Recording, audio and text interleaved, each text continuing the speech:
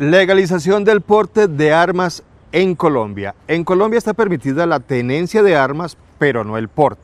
Aclaremos la diferencia entonces entre tenencia y porte. Tenencia quiere decir que una persona puede ser propietaria de un arma de fuego, pero ésta debe permanecer en un lugar específico, ya sea la vivienda o el lugar de trabajo. El porte significa que la persona la puede llevar consigo a cualquier lugar, el porte está permitido solo en casos donde el interesado demuestre que su seguridad y su vida están en riesgo. En marzo de 2021, según cifras del Departamento de Control de Comercio de Armas, Municiones y Explosivos de las Fuerzas Militares, se encontraban registradas en el país 690.859 armas de fuego. 281.360 de estas están reportadas para tenencia y 409.499 para porte. Los permisos se deben tramitar ante las unidades militares. Estos permisos pueden tener cobertura regional en el departamento donde se vive o nacional que permite que se lleve por todo el país. Un comité especial se encarga de analizar cada caso y de renovar esos permisos. La renovación se debe hacer cada año. Este año las solicitudes de porte de armas se han disparado. En promedio se hacen cada día 47 solicitudes, un incremento del 284% con respecto a las que se hicieron en 2020, que eran 16,5% cada día. El porte de armas está prohibido por varias razones. Preservar el orden público, porque promueve la violencia y porque agrava las consecuencias de enfrentamientos sociales. Una de las defensoras del porte legal de armas es la senadora María Fernanda Cabal, quien presentó un proyecto de ley en ese sentido, junto con el también congresista Cristian Garcés. María Fernanda Cabal sostiene que los ciudadanos tienen derecho a defenderse de la delincuencia que tiene en su poder armas ilegales. El gobierno rechazó la iniciativa y manifestó que las armas no son un derecho y que el desarme es la política del actual gobierno nacional. El tema sigue siendo motivo de debate. Los congresistas que defienden la iniciativa aseguran que insistirán en el proyecto hasta que el Congreso lo apruebe. Señoras y señores, buenas noches, bienvenidos a este programa de opinión aquí en Telemedellín, una hora para hablar de todos los temas que nos aquejan como sociedad, los temas tabú, todo, absolutamente todo lo podemos hablar aquí en este programa de opinión. Ustedes, como siempre, como cada miércoles y como cada jueves a las 8.30, muchísimas gracias por acompañarnos. Legalización de las armas. Cualquier persona las podrá tener en Colombia, sí o no. Eso está todavía en veremos. Ya viene ustedes la introducción de nuestro director Germán, que ahí simplemente decía ya el gobierno rechazó de tajo esta medida. Pero que sean los expertos quienes tengan la voz en este programa de opinión. Quiero saludar en este momento a Andrés Usuga, abogado, especialista en Derecho Constitucional. Buenas noches, bienvenido. Juan Pablo, buenas noches, muchas gracias por la invitación a ti y al canal. Y también quiero saludar a Dubán Castañeda, abogado, experto en Derecho Penal y miembro de la Corporación Legítima Defensa. ¿Cómo está? Juan Pablo, muy buenas noches. Muchas gracias por la invitación. Muchas gracias, doctor. Buenas noches. Y quiero empezar con Andrés. ¿Es más segura una sociedad, un país, si toda la gente está armada? Bueno, yo creo que es un concepto bastante subjetivo sobre qué es una sociedad más segura o menos segura. Y pasa por el tema de las percepciones y eso. Pero yo creería que lo primero, y te voy a pedir que me regales 30 segundos para hacer un poquito de pedagogía. Creo que hay unas falsas concepciones, pero también unos falsos dilemas. Lo primero es saber que las armas o las armas de fuego tienen una categorización e invitaría a que la gente, por ejemplo, leyera algo que lo hace de forma muy pedagógica, el decreto desde, que viene desde 1993. Entonces las armas de fuego están en las armas de guerra, que son utilizadas eh, o de largo alcance, de largo alcance, las armas de uso privativo de las Fuerzas Armadas, esto es Ejército, Armada, Fuerza Aérea y Policía, y las armas que pueden utilizar los particulares o los ciudadanos del común. A su vez, las armas eh, para los particulares también tendrán que tener cuatro categorías. Las primeras para defensa personal, las segundas para deportistas. Hay gente que practica el deporte eh, con armas de fuego, sobre todo el tiro. Y eh, hay deportistas, hay coleccionistas también, pero también están las armas de la seguridad privada. Esas cuatro categorizaciones es importante tenerlas en cuenta. ¿Por qué? Porque de lo que estamos hablando, o creo yo, la propuesta, sin haberla leído totalmente, la, de la senadora Cabal y del representante Cristian Garcés del Valle del Cauca, se refiere a el uso de esa primera categoría que les dije, uso de armas para particulares en defensa de qué? De su vida o de sus bienes. Creería yo que hasta ahí la propia Constitución de Colombia tiene eso previsto, tiene eso considerado. Ahora bien, no, es, no se puede mirar de forma tan plana, sino que habrá que mirarlo con el nivel de detalle que requiere y creería yo que más que un decreto inclusive, que creo que es lo que están pidiendo, eh, en qué podría estar yo de acuerdo con la senadora o con el representante Cristian Garcés, que, que no sea una reglamentación como es hoy, en un decreto, aunque es un decreto eh, del presidente de la República, sino que se lleve al nivel de ley. ¿Para qué? Pues para que haya un poco más de seguridad jurídica en todos los ciudadanos y que no, eh, y que no pueda llegar cualquier gobierno y que por medio de un acto administrativo expedido por cualquier gobierno eh, esté dando los bandazos de quitar o poner en cualquier momento el porte o la tenencia de las armas de fuego de defensa personal, volvería yo a esa categorización.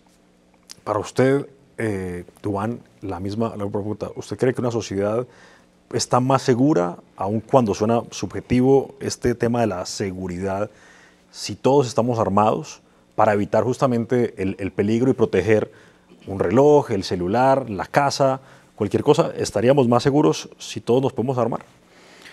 Como lo manifiesta el doctor eh, Usuga, es muy subjetivo y hay que partir que lamentablemente el colombiano, Colombia no tiene la cultura de portar de manera responsable armas de fuego. Entonces, a partir de ahí se podría entrar a decir y analizar con lupa si efectivamente somos más seguros. Lo cierto sí es que todo ciudadano tiene derecho a defenderse y que tiene derecho a la legítima defensa que es un derecho que está consagrado tanto en la Constitución y es una causal de ausencia de responsabilidad penal según el artículo 32 del Código Penal. Adicional a esto, el ciudadano también debe contar con los medios necesarios para poderse eventualmente defender de un peligro actual o inminente.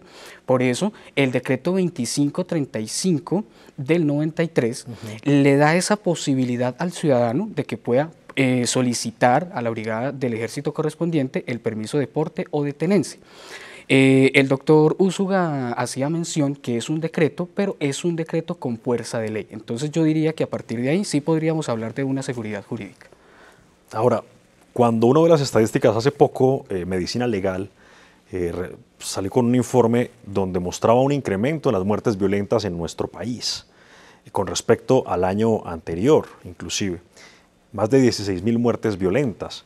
Y cuando uno ve esas cifras, uno dice, pues hombre, hay algo que está sucediendo en nuestra sociedad. Ahora, imagínense si llegase a prosperar esta propuesta de la señora María Fernanda Cabal o del representante del Valle de que la gente pudiera tener armas y la excusa simplemente es, que me quiero defender, eh, eso podría llegar a dispararse mucho más. ¿Ustedes no sienten que, inclusive los niveles de intolerancia en Colombia se han venido eh, disparando mucho más? Yo creo que la pregunta es importante en el marco de decir que si bien todo ciudadano se puede defender, no todo ciudadano se puede defender con un arma de fuego. Me explico. No todos los ciudadanos de Colombia, no todos los mayores de edad están ni preparados, ni entrenados, ni capacitados, ni sanos mentalmente para hacer el manejo de un arma de fuego. Entonces, lo que yo sí pienso es, si el proyecto de ley va encaminado hacia poner ciertos límites, que creo que es una de las funciones del derecho, ponerle límites al poder. ¿Y dónde están los límites? Claro, en este momento los límites están en el decreto ley, pero si la ley, que tiene muchísima más legitimidad que un decreto ley, le va a poner los límites al poder de las armas de fuego, porque te voy a ser muy sincero, independientemente de que haya o no un decreto, independientemente de que haya una ley o no, incluso del Código Penal, los bandidos, no solamente los de Colombia, sino de cualquier parte del mundo, no se ven intimidados porque haya prohibiciones de armas de fuego, porque ese no es el mundo en el que se mueven los bandidos. El bandido no se sienta a mirar el código penal para decir, el, porte de armas da esto y esto, el homicidio agravado eh, en vehículo automotor da esto. A él, él simplemente está delinquiendo. Entonces, no es una medida disuasiva y sería más una medida punitiva, de populismo punitivo, el decir vamos a incrementar las penas el que, para quien tenga armas de fuego.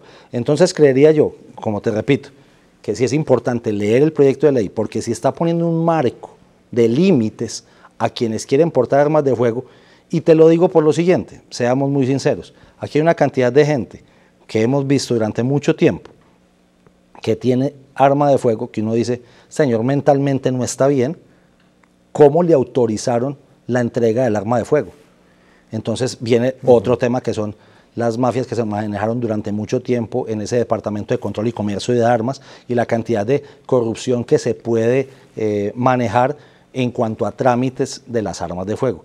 Si, si la ley, si el proyecto de ley va encaminado, por ejemplo, a diluir o a limpiar un poco más esos límites que tendrán los ciudadanos para el acceso a las armas de fuego, me, explico con términos eh, no, tan, no tan técnicos el que quiera acceder a una pistola o a un revólver, que son las únicas armas a las cuales se podría acceder, ¿cierto? Porque explico, eh, el ciudadano no tendría derecho a acceder a un fusil, o no tendría derecho a acceder a una ametralladora, o no tendría derecho a acceder a, un dispositivo. De largo alcance. Sí, a, armas de largo alcance. Entonces, en ese orden de ideas, ¿qué tipo de curso se le va a pedir? ¿Qué tipo de capacitación se le va a pedir? ¿Qué tipo de certificación médica se le va a pedir a alguien? ¿Y qué tipo de experiencia se le va a pedir para poder asignarle una arma de fuego y aclarando también, que creo que hay una, hay una aclaración que es importante hacer de acuerdo a la introducción que se hizo. Las armas de fuego nunca pasan a ser propiedad de los ciudadanos.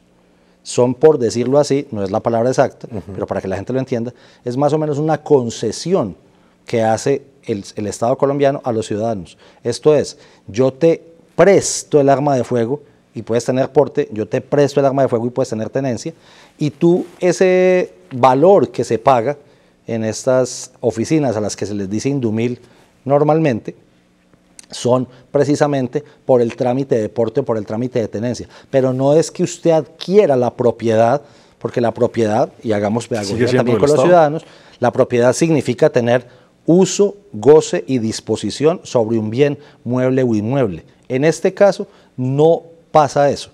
El ciudadano, por más que pague, no va a ser propietario ni de la pistola ni del revólver. Pero si la quiere vender, alguien que compró un arma... Se llama cesión.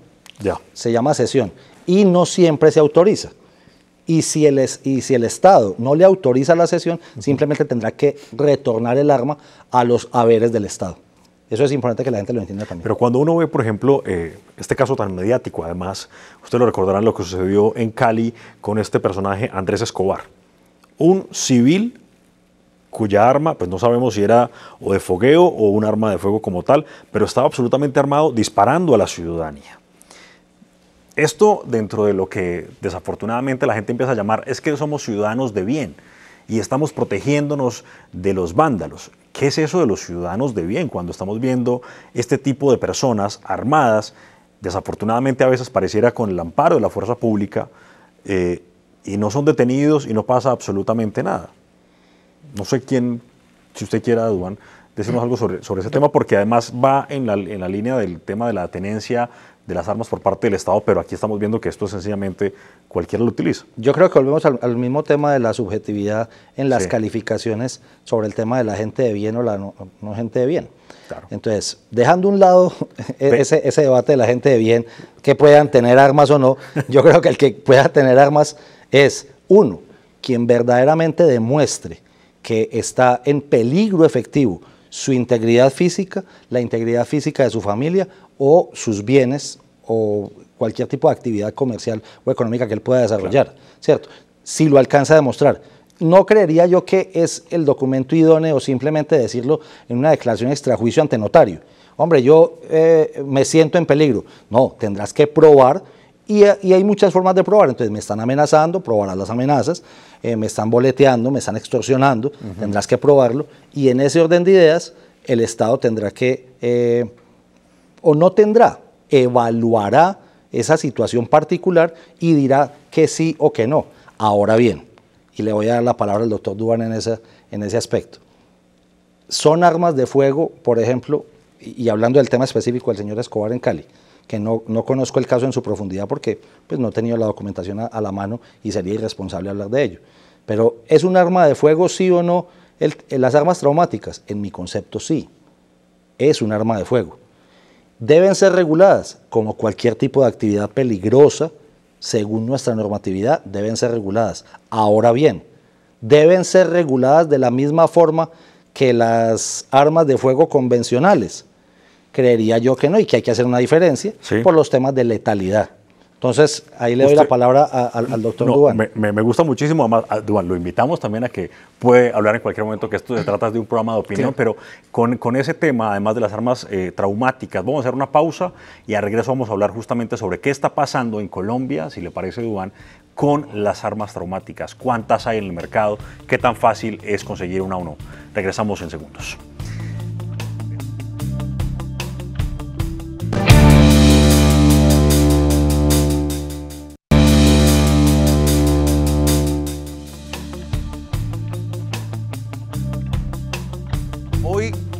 Tema que nos atañe esta vez es la legalización de las armas de fuego. Nos acompañan Andrés Castañeda, abogado experto en Derecho Penal, y también Duban Usuga, abogado especialista o más bien miembro de la Corporación Legítima Defensa. Quiero eh, continuar con usted esta discusión que estábamos teniendo antes del corte.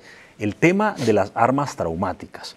Bastante hemos visto eh, asaltos o personas eh, que se arman con armas traumáticas porque dicen es que me tengo que defender de alguna u otra forma.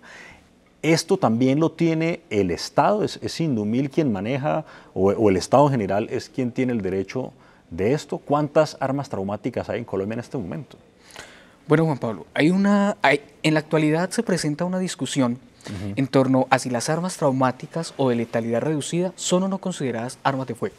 Hay un sector de la población, exactamente los comerciantes, quienes dicen que no son armas de fuego hay otro sector que sí dice que son armas de fuego. Pero vamos a, mirar balísticamente y técnicamente esas armas traumáticas o de letalidad reducida sí pueden y son consideradas verdaderas y auténticas armas de fuego. Vamos exactamente al decreto 2535 del 93, que es en Colombia el decreto que, maneja todo lo referente a las armas, a los explosivos y a las municiones. El artículo quinto de ese decreto nos habla que es arma, solamente arma, todo objeto o instrumento capaz de producir lesión, amenaza o muerte. ¿sí? Un arma traumática es posible que cause una lesión. Claro, porque precisamente se llama de letalidad reducida, que en un momento determinado no te puede quitar la vida. No de letalidad nula. Exacto. De letalidad reducida. Pero también te podría matar en algún momento. Te podría matar. Inclusive a una corta distancia, yo no necesito ser un tirador experto para inclusive quitarte la vida. Y ya se han documentado eh, casos, inclusive hace poco en el área metropolitana, un fin de semana, exactamente para el fin de semana del de el Día de Amor y Amistad, se registró un homicidio a causa de un arma traumática. Entonces, ¿puede producir eh, una amenaza? Claro, si un ciudadano desenfunda un arma porque son auténticas e incluso son réplicas de armas de fuego reales.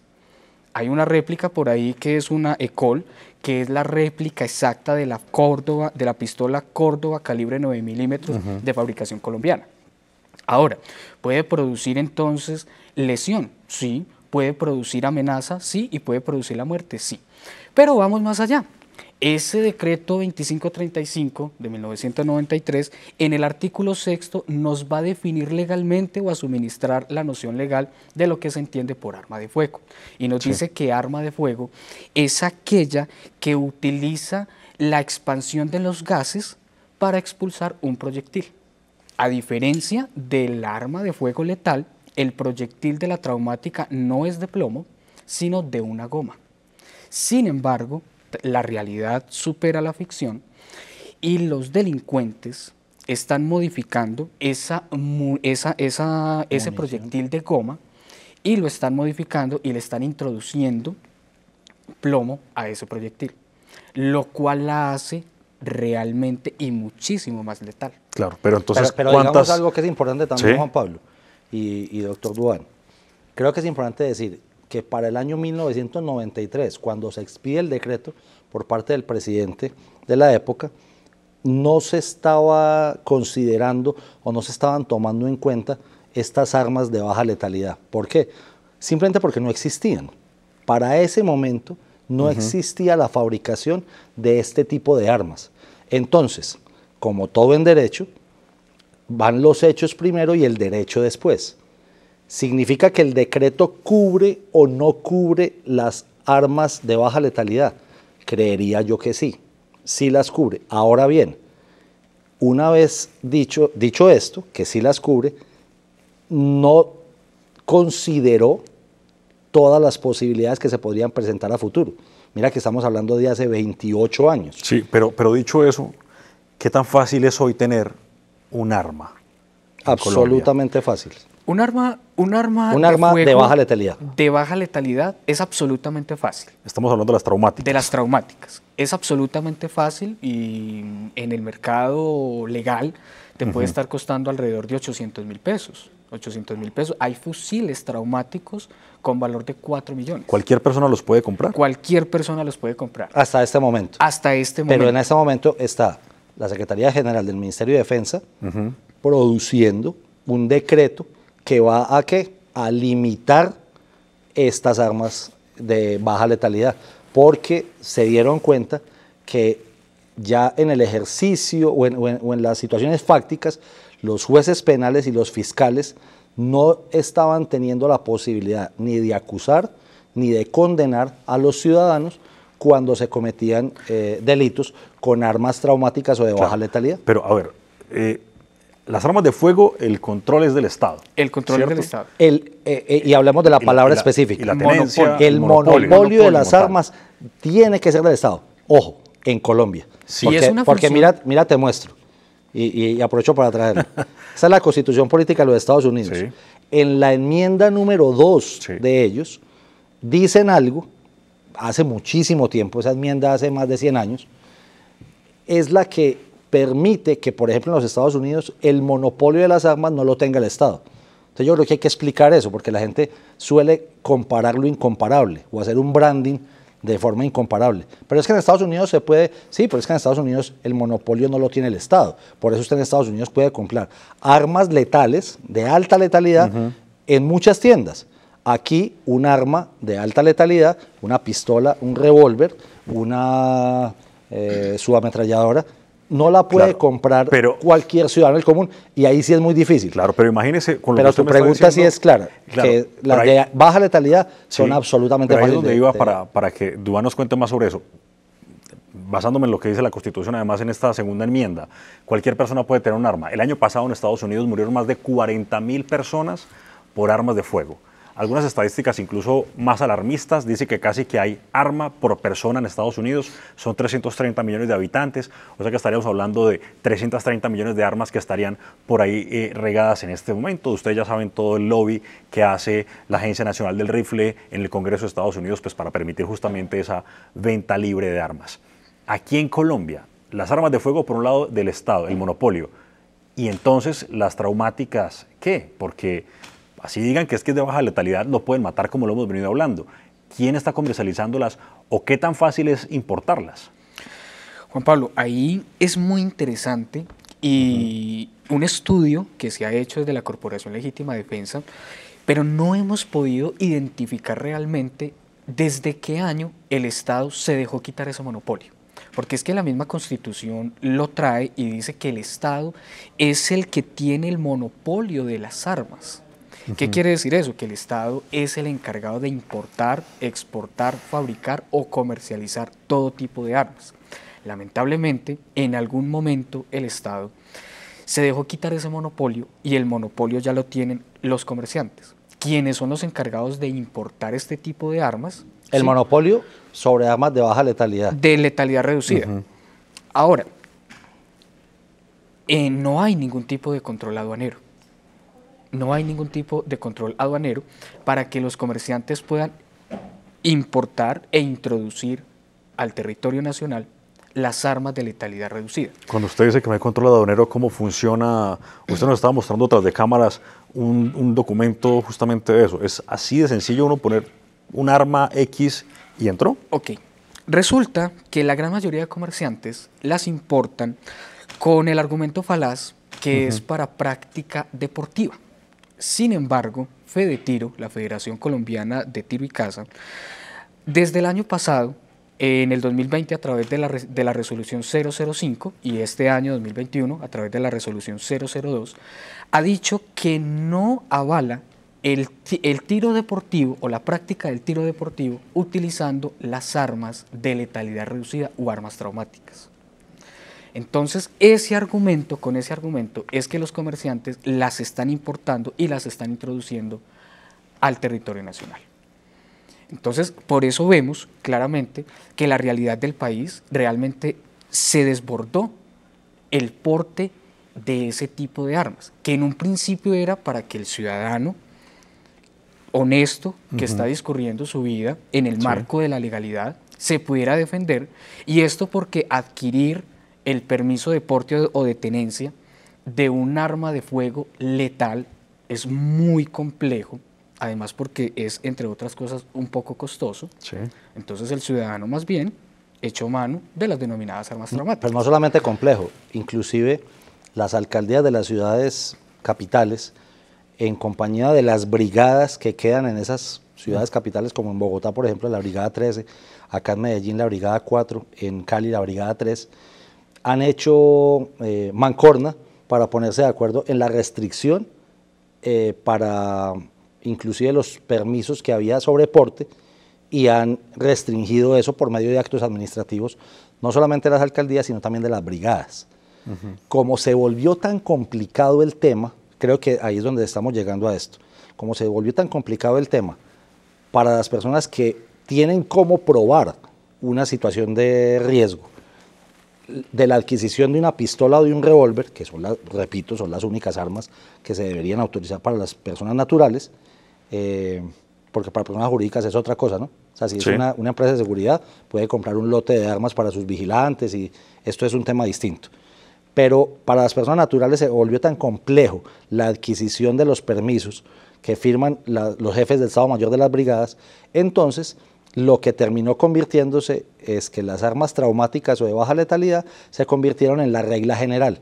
Entonces ya la gente dice, yo no tengo eh, cómo, no me han autorizado, he pedido tres veces el permiso para que me autoricen en la brigada, no lo han hecho, me compré una traumática y ya. Y el problema es que cuando llega la policía, hace un retén en la calle, en cualquier parte, paran a la persona y le dicen, muéstreme los papeles para esa arma, las armas traumáticas no tienen un salvoconducto como tienen las armas normales. ¿Qué tienen? Un permiso de importación, que es el un que manifiesto le de importación. un manifiesto de importación que es el que le muestran o el que le entrega el comerciante de las de cualquier almacén donde están vendiendo esto al que adquirió el arma de fuego, que de verdad pues son armas adicionalmente en unos precios tremendamente distantes a un arma normal. Pero o sea, demostrar te la ese- pongo así, una 9 milímetros normal puede estar costando entre 8 o 10 millones de pesos. Y una réplica de 9 milímetros traumática o de baja letalidad te puede costar 800 mil pesos o un millón de Y pesos. al mostrar ese manifiesto de importación a la policía, ya la persona puede Bueno, continuar no su camino con, eso. No es suficiente. Ahí hay que entrar a diferenciar dos escenarios jurídicos. Uno es, el primero de ellos es que el policía te puede expedir el comparendo por estar cometiendo un comportamiento contrario a la convivencia, descrito en el artículo 27, numeral 7 Pero del ojo, Código pero ojo, Nacional. ojo, di- digámoslo con toda claridad. Si tú estás exhibiendo o si tú estás No, si va en el carro, si va en el carro Eh, eh, sí, subiendo, porque son saliendo dos a- situaciones distintas, ¿no? Son dos situaciones Claro. distintas. Si tú estás quieto, vas en tu carro o vas inclusive a pie con el arma traumática eh, bien guardada, bien enfundada, no estás haciendo nada y te para la policía, lo descubre, esa es una situación. La otra situación fáctica distinta es tú estás exhibiendo el arma, tú estás intimidando con tu arma a alguien o pasó alguna cosa. Ahí, entonces, entran con el tema del código de policía, Ya. que es la ley 1801 y, y, y, y Sin embargo, en el, en, el, en el primer escenario que manifiesta el doctor Úsuga, cuando el, el conductor del vehículo lleva su arma traumática en la guantera o a un lado de, de la caja de cambios, el policía le puede hacer un requerimiento, una requisa, lo Sí. que comúnmente se llama como una requisa, y aún así hay policías que expiden el comparendo. Pero es que porque no lo tienen claro. Eh, Creo que, que- que- creo que No eso es donde, claro, donde, donde tenemos que hacer hincapié. Hoy la Policía Metropolitana del Valle de Aburrá, la Policía Metropolitana de Bogotá, la Policía Metropolitana de Cali, de Barranquilla, de Bucaramanga, no tienen una directriz clara para emitirle a sus patrulleros. Y en este orden de ideas se vuelve subjetivo Sí. que hay unos patrulleros que te hacen el comparendo y otros patrulleros que dicen, "Pues, ¿yo cómo le hago Y comparendo? es más, ni si esto no es siquiera un hay arma de una fuego?" línea, ni siquiera hay una línea, eh, hay una disparidad de criterios, tanto desde la policía como desde la fiscalía. Hay algunos peritos balísticos, porque en últimas eh, no es el fiscal el que determina si es un arma o no es un arma de fuego. Es un, es un perito balístico el que determina, a través de un experticio eh, Sí. químico y balístico, si eso no es un arma de fuego. Entonces, eh, a nivel de fiscalía hay una disparidad de criterios porque algunos dicen que no es un arma de fuego, algunos balísticos, ¿no?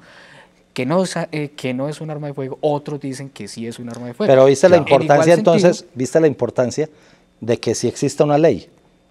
Sí. Porque esta ley es la que le va a dar la seguridad jurídica, no solamente a los ciudadanos, sino a las autoridades para que puedan decir, evidentemente es un arma de fuego, pero viene el resto de la ley, que es qué va a pasar con las personas que ya adquirieron sus armas traumáticas, no con todo el trámite que se hace ante un arma normal en, en control comercio de armas del Ejército Nacional o de las Fuerzas Militares, cómo se van a, por decirlo así, es una palabra que, que no Ajá. es exactamente técnica, cómo se van a legalizar las armas traumáticas en cabeza de los ciudadanos. Y pongo el ejemplo claro. Y si yo voy a ir a legalizar una pistola que compré hace un año, pero apenas me hagan el examen que la ley ordene, y, la- y- y en el examen yo salga no apto, ¿qué pasa conmigo? ¿Qué pasa con esa pistola? ¿La tengo que devolver? ¿Se la tengo que devolver a quién? Al comerciante. Porque como esa no es monopolio del Claro. Estado, ahí entramos en una discusión grande. Hay algo, hay algo sí. y, y permíteme, Juan Pablo, antes Es que le, le- le quería preguntar justamente para línea con eso, porque usted hace parte de la Corporación Legítima Defensa, para, para ponerlo en, en línea con esto.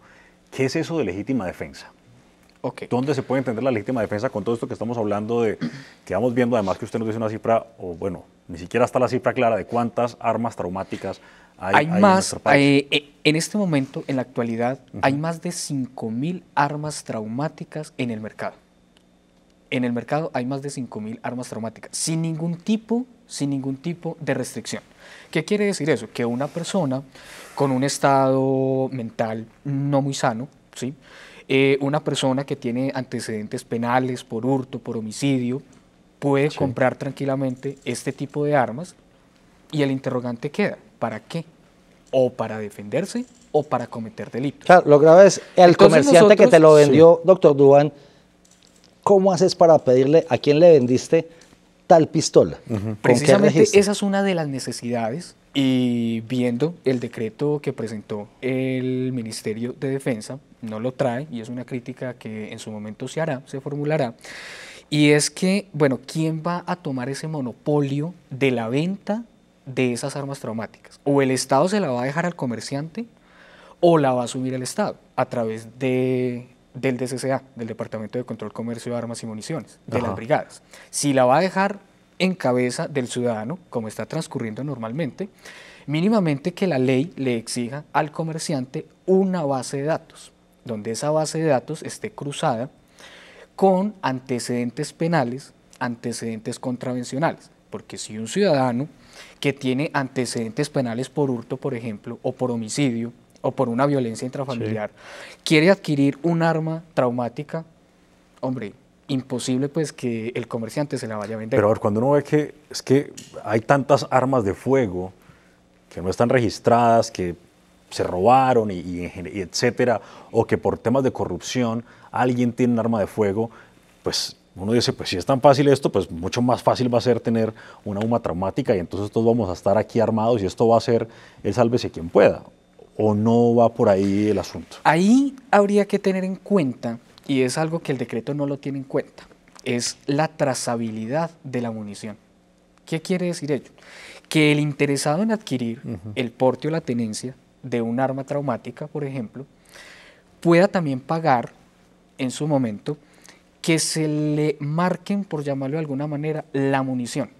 Es decir, que si en algún momento la persona mata, hiere o comete un ilícito, utilizando esa arma y esa munición, se pueda ver en la base de datos quién es el dueño, quién es el responsable de esa arma de letalidad reducida. Ahora, mire, eh, tenemos que hacer una nueva pausa en, este programa de opinión, pero los quiero dejar con una pregunta y es, jugando al abogado del diablo en este caso. Uno muchas veces por las noticias el tema de eh, tantos ladrones capturados con armas hechizas, una cosa cualquiera, y entonces la ciudadanía se estará preguntando, ¿y entonces yo por qué no me voy a poder armar cuando estoy viendo que los ladrones están matando a cualquier persona por un celular, por lo que sea, armas hechizas, pues yo me puedo comprar una traumática, pues me la compro y me voy a defender. Y para seguir con el tema de la legítima defensa, además que me parece importante. Pausa, ya volvemos. Es que eso creo que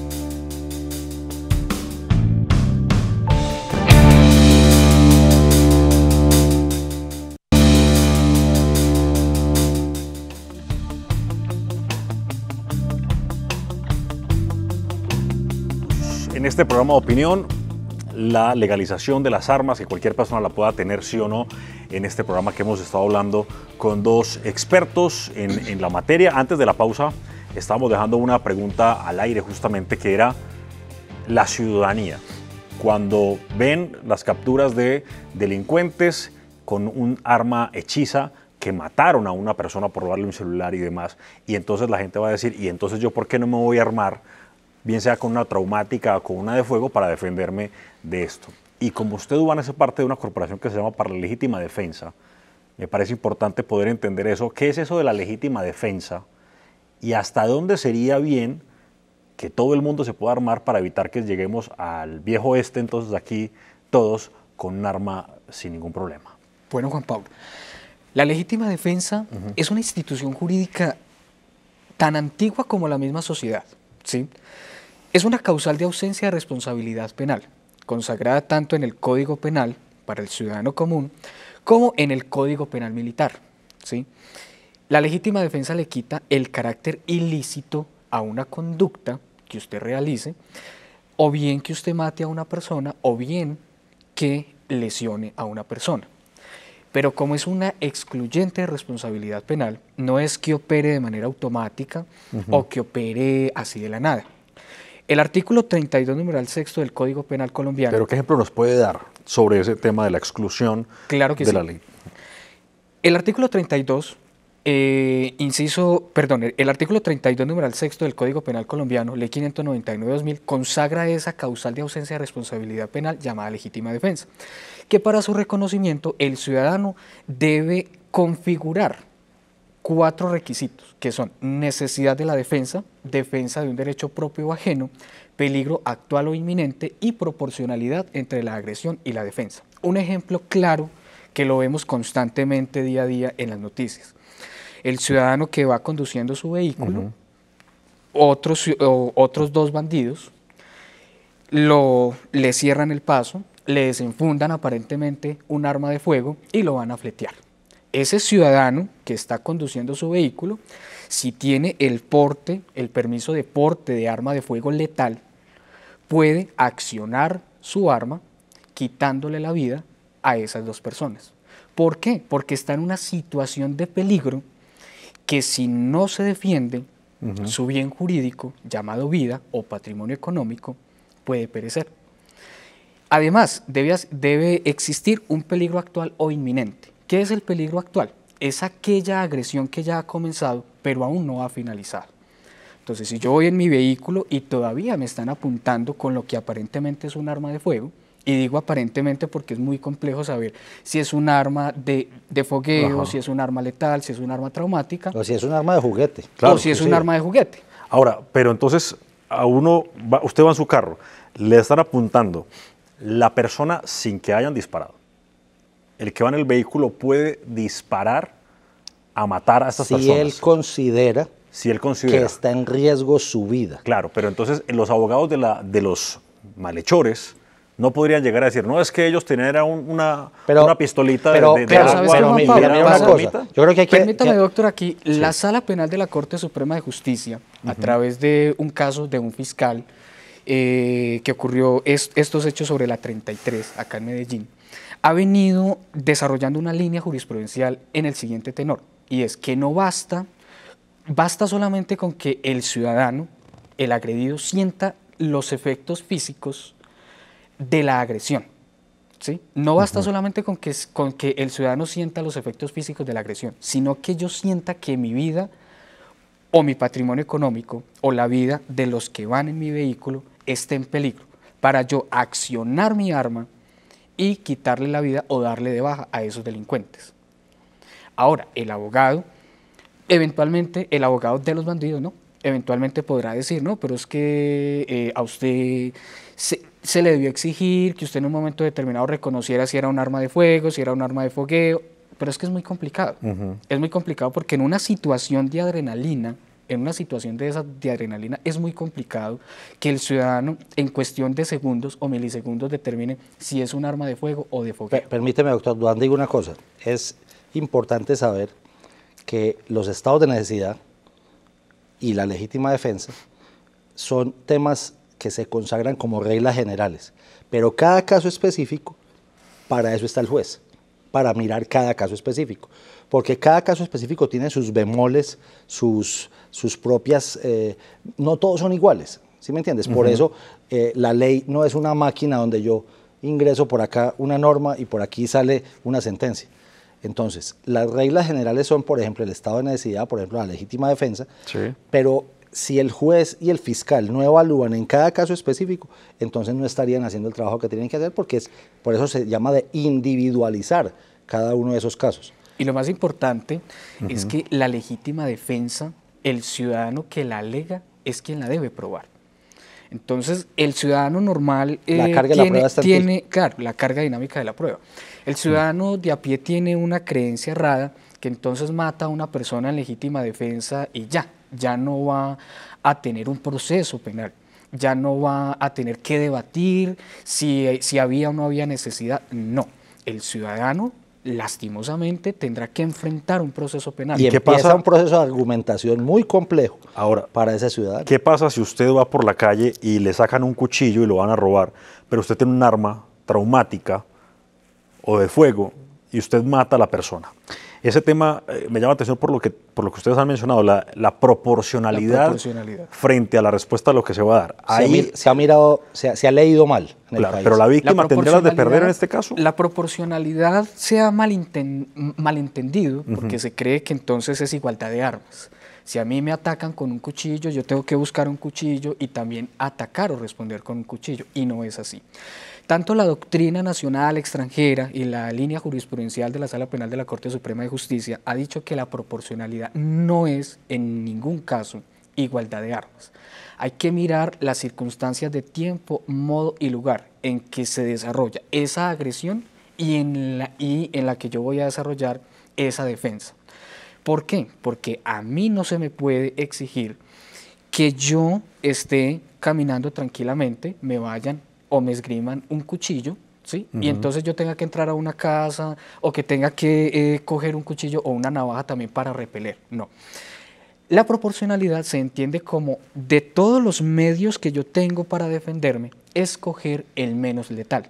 Si en ese momento para yo defenderme solamente contaba con mi arma traumática o con mi arma de fuego letal, yo lo puedo hacer tranquilamente. O con un bate. O con un bate, con cualquier tipo de situación. Pero a veces ha, se ha habido casos donde, eh, se ha visto casos donde el ladrón eh, simplemente un conductor lo va y lo atropella y le tira el carro encima y entonces luego termina el conductor siendo el, el, villano de toda la historia porque dicen, ah, no, es que mire, usted los arrolló a estos señores y entonces ahí usted les tiró el carro y eso es absolutamente... Tendrá que entrar en un proceso de argumentación muy grande. Y no solamente argumentativo, Para probar que era la única que tenía para defenderse. Sino probatorio. Porque si esa persona, si ese conductor que les tira el vehículo a esos bandidos no era la víctima propiamente, sino que lo hizo fue por defender un derecho ajeno, ajeno. lo puede hacer conforme al artículo 95 de la Constitución lo puede hacer tranquilamente, pero entonces habría que entrar a analizar las circunstancias de tiempo, modo y lugar, como lo decía ahora el doctor Uzuka. Cada caso es un caso particular y habrá que mirarlo con lupa para mirar si había necesidad de defender ese derecho ajeno, ¿sí? si estaba o no estaba en peligro la vida o el patrimonio de ese otro ciudadano. Claro. Ahora, si ya soy yo el realmente, la víctima real, y entonces a mí me hurtan, mi celular, eh, qué sé yo, y entonces yo emprendo la huida, considero que ahí ya no sería legítima defensa. ¿El por qué? Porque la legítima defensa opera es en el momento en que se está consumando el delito, ese hurto. ¿sí? Es como la flagrancia. Eso, la flagrancia. Que es tan compleja de probar también porque entonces, te pongo el otro ejemplo. Si me robaron aquí y yo hoy persigo el ladrón sin que él se dé cuenta y a las 20 cuadras lo alcancé y fui y lo ataqué y me, me volví a apropiar del bien que me acaba de robar, no sé, mi billetera mi cadena, mi reloj, mis gafas. ¿Será que puede probar flagrancia? Le va a quedar un poco más complicado. Nosotros desde la corporación... Son, son, temas un poco más complejos y de mucha más elaboración, pero adicionalmente, y permíteme, doctor Dubán, termino esta idea, adicionalmente es un poco más complejo porque, digámoslo con toda sinceridad, uno a veces no entiende las sentencias de los jueces, porque a pesar de que haya línea jurisprudencial clara, usted va y mira la sentencia y usted dice, pero ¿y por qué?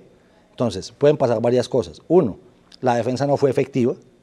O dos, el juez no tomó en cuenta ni los antecedentes jurisprudenciales de la Corte Suprema o salió con una cosa loca, que también pasan. Tristemente también pasa porque a veces tenemos jueces, y, y, debo decirlo con toda tristeza, tenemos jueces a veces desde la inidoneidad o desde la pereza. Entonces, que terminan condenando a una persona que no deberían haber condenado.